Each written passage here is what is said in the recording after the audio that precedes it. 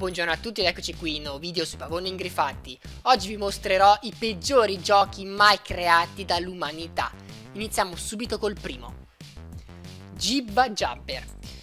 Allora, eh, prima di tutto è una merda, cioè eh, non c'è dubbio, eh, non so quale disegnatore abbia mai avuto un'idea del genere, penso che abbia avuto dei problemi mentali molto grossi o era ubriaco e aveva perso una scommessa e doveva creare il peggior gioco del mondo poi inoltre pure il suo capo era ancora più ubriaco e quindi l'ha fatto eh, produrre e è uscito questa cosa.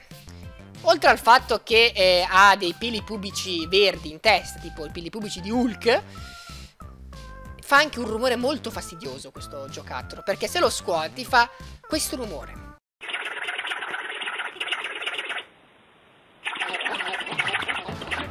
Cioè, il divertimento non so in cosa consiste, continuare a muovere sta merda per due ore e sentire un rumore fastidioso. Questo è il gioco, che bisogna pagare, eh? Non è che ti pagano loro, paghi tu.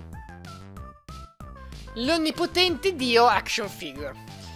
Ma secondo me non ci sarebbe nulla di male se ci, se ci fosse un pupazzo, un giocattolino su dio, va benissimo. Il problema più grande è che all'interno della scatola troverete pure un uh, mitragliatore e questo non eh, capisco eh, cosa, perché. Perché dovrebbe aiutare Dio un mitragliatore? Non ne ha bisogno Dio, è Dio, è onnipotente, cioè, si chiama anche proprio l'onnipotente Dio. Quindi, cioè, lo fanno capire chiaramente che non dovrebbe aver bisogno di un cacchio di mitragliatore. Però la sua giacca è davvero fica, eh, la vorrei io avere quella giacca da fico. Dora Aquapet. Beh, eh, è un pene, c'era Fa, perché, perché, fare giri di parole? È, è, un pene, è chiaramente un giocattolo a forma di pene. Di per sé questo gioco uh, dovrebbe assomigliare a questo qua. After Aquapet finishes his greeting song, you can play with him by moving him left, right, up or down. To move to the left, you press the star button. To the right is the heart button. È una noia immorale comunque, eh, anche se fatto a forma non di pene perché eh, tu registri la tua voce o una canzone, quel che è, e lui la, ri- la riproduce. Punto. Eh, dentro l'acqua, inoltre. Non so perché. Eh, però, perché dovrebbero farlo anche a forma di pene? Non se ne sono accorti. Boh, non lo so. Eh, forse mi sbaglio io e io vedo un pene, ma magari voi vedete un normalissimo giocattolo, eh? Ditemelo voi, eh. La riproduzione del controllo di sicurezza della Playmobil. Eh, la prima B mi è sempre piaciuta da piccola, eh. Preferivo il Lego perché potevi fare più cose. E perché la Playmobil appunto potevi soltanto comprare un determinato eh, giocattolo con un determinato contesto, tema. E con il Lego potevi modificarlo a cazzo di cane.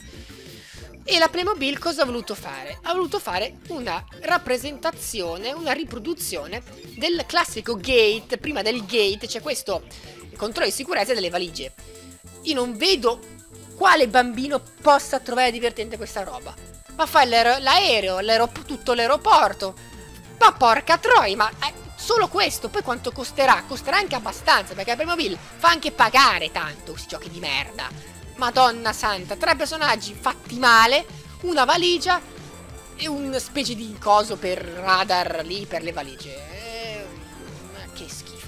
Ah, se siete interessati su Amazon lo trovate, eh, potete acquistarlo per solo 270 euro. Oh, sbrigatevi che ne è rimasto soltanto uno, quindi oh, vi lascio il link in descrizione, eh, muovetevi! Harry Baby. Ehm, non so quale mostro abbia partorito questa idea di fare un bambino peloso da poter rasare però, vabbè, magari hanno fatto un sondaggio e, e i bambini dicono Sì, sì, vorrei rasare il bambino, sì, che bello, che bello. Ok, però non credo che un bambino possa mai immaginare di volere una roba del genere. Perché un neonato dovrebbe avere i peli? Va bene sotto l'ascelle, però guardate come vanno piano piano giù fino al pube, quindi anche i peli pubici pieno di peli, pieno, completamente pieno. Ma che bambino è? Ma neanche a 50 anni ha tutti quei peli, se non tirati mai.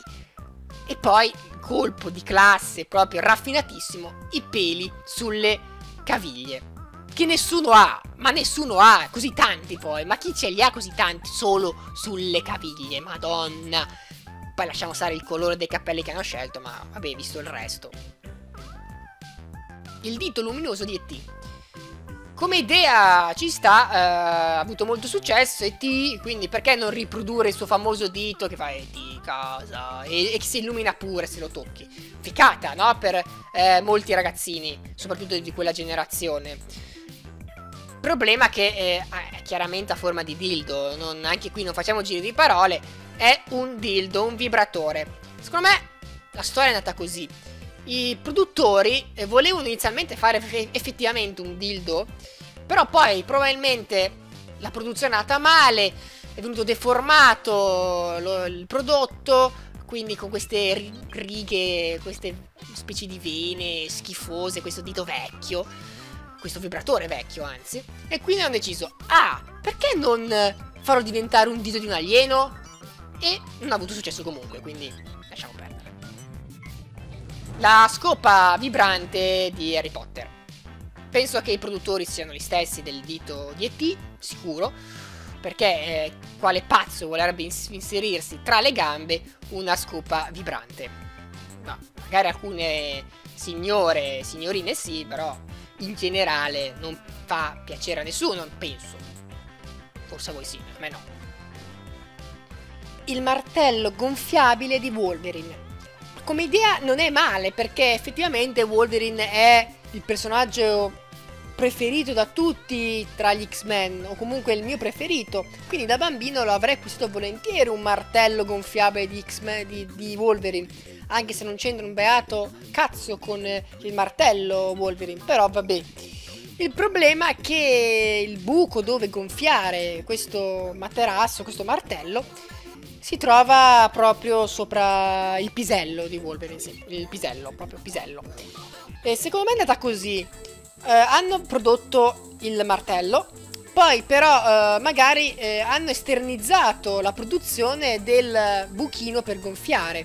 Quindi l'hanno mandato in un'altra industria e sono due ipotesi, o sono dei figli di puttana e quindi l'hanno messo apposta lì, lì tra le gambe di Wolverine, il buco, o se no, eh, non sapendo bene cos'era il prodotto, l'hanno messo in un punto casuale in alto dove solitamente si mette questo buco ed è andata così. Eh, sfiga pazzesca, però, oh, però potete anche tenerlo d'occhio, eh, vabbè. La sella eh, del papà. Chi non ha mai fatto da piccolo... Cavallino con il proprio padre, ci si divertiva, no? Ci si metteva sopra la sua schiena e lui faceva cavallino, cavallino, cavallino e saltavi. Simpatico. E alcuni hanno avuto anche la brillante, possiamo dire, brillante idea di costruire una vera sella, così da fare il vero cavallino.